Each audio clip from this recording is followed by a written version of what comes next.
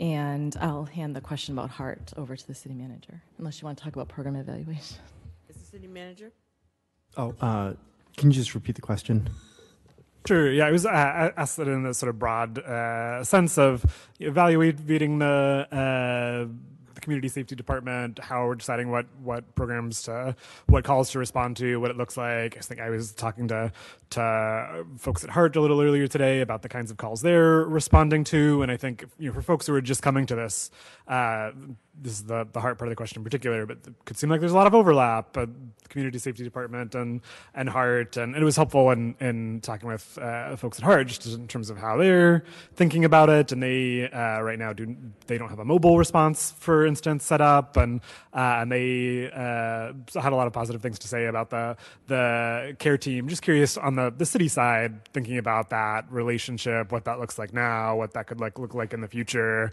This is a you know I'm sure a much longer conversation as well, but um, just included that in the sort of planning and evaluation piece in the, the sense that, you know, I don't think anything about this is, is set in stone and I uh, wanted to, to make sure to ask about that. Okay. Um, through you, Mayor Simmons, you know, I think, uh, I guess, so is your, just to clarify, like, is your question, your question is regarding I guess the to the broadest sense, yeah. How does the how do you see the community safety department relating to HEART? Got it. Thank you. Uh, through you, Mayor Simmons, um, I would say that, um, you know, I would say a couple of things. First is, um, I do think that there have been broader questions about just the potential overlap between different kind of services. Um, I do think that in many ways, HEART has built up uh, more of a kind of community support model. Um, and as far as I know, I don't believe that they are really doing, you know, uh, emergency response at this point. Um, I am aware there was a Harvard Crimson article that came out a little bit about some of the questions around contracting. Um, you know, I think I think this has been a little bit challenging, and I, would sort of just emphasize that you know, the city has really tried hard to work with HEART on a lot of these conversations. I know there's a little bit of public comment about the contract that they submitted.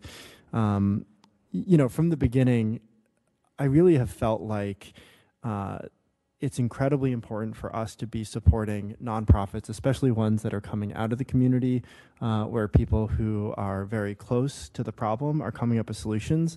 Um, I think that was very inspiring to me about HEART's story, and I even met with them uh, in I think it was October 2022. So within like a month of when I started, um, I had met with them just to better understand. You know, there's this long history. Where are things? Um, and and I think it's been a real challenge to kind of work through how we would partner and where this would go. Um, you know, to the to the previous council's uh, policy order, you know, we really did say let's give HEART a chance, and we provided them with a very significant amount of funding. So there's a three hundred thousand dollar ARPA grant um, that we uh, we we we gave to HEART, and um, to give them some runway. Uh, and that's a lot more than we have funded many nonprofits for. Uh, to this point, and I think uh, at this point in time, and this is in the update, but they have submitted reimbursements for uh, approximately $30,000 from the city and about $24,000 in addition just came through. Um, I do have some concerns. We're working through some amendments that HEART uh, requested shortly after we signed the contract. This was back in June, so eight months ago.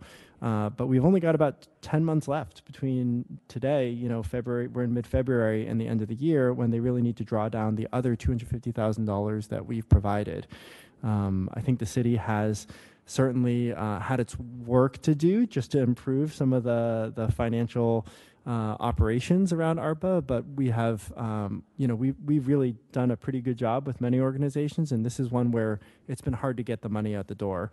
Um, I think despite the frequent public advocacy efforts, um, I would just note HEART did not actually get us that formal proposal until December 2022. So this is only a couple months ago. And uh, within a week or two, we sat down, met with them, discussed the proposal that I think was sent to the council.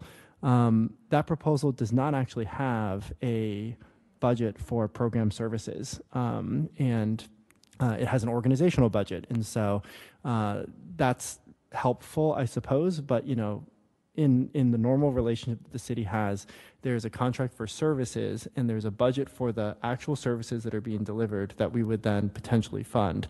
Um, the overall organizational budget of an organization is is sort of their responsibility to to manage.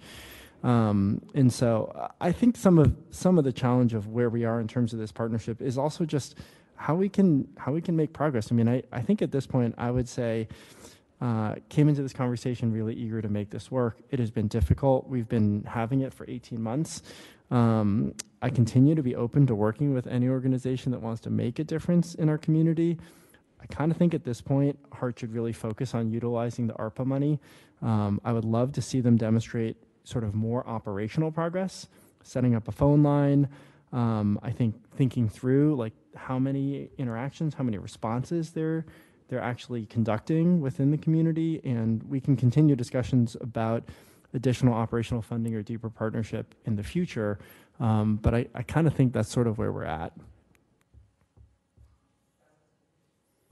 Thank, thank you uh, for that response. That's helpful. And um, yeah, I think there's more to, to talk about offline. was talking with a little bit today about the emergency line and launch plans and pieces, but I'll uh, yield back for now.